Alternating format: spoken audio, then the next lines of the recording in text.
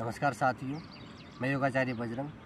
आज का योग ब्राह्मणी प्राणायाम। आइए सीखते हैं कैसे करें। कईयों के मन में दुविधा रहती है कि ब्राह्मणी प्राणायाम कैसे करें। अलग अलग प्रकार से करते हैं कई। अपना अपना बना रखा है सभी ने। तो हम इसको तीन तीन प्रकार से कर सकते हैं।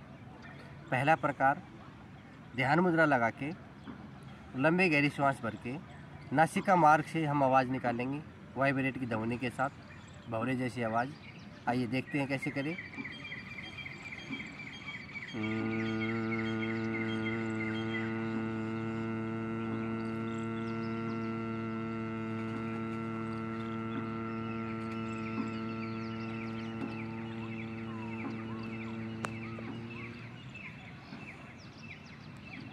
ये पहला प्रकार, दूसरा प्रकार।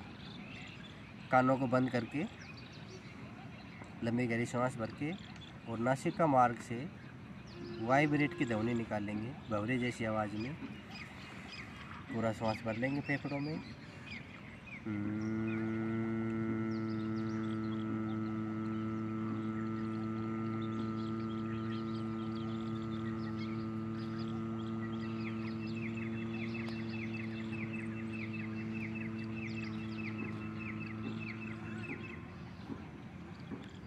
ये दूसरा प्रकार अब तीसरा प्रकार। पहले उंगली मत्थे के ऊपर, शेष तीन उंगली आँखों के ऊपर, अंगूठे से कान बंद, लंबी गहरी श्वास भरेंगे।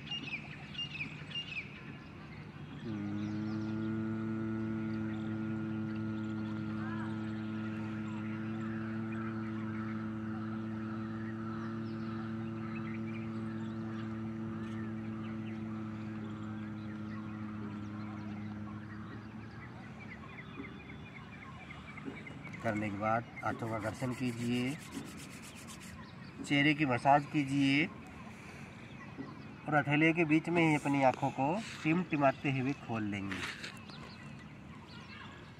इस अभ्यास को आप 11 से 21 बार कर सकते हैं।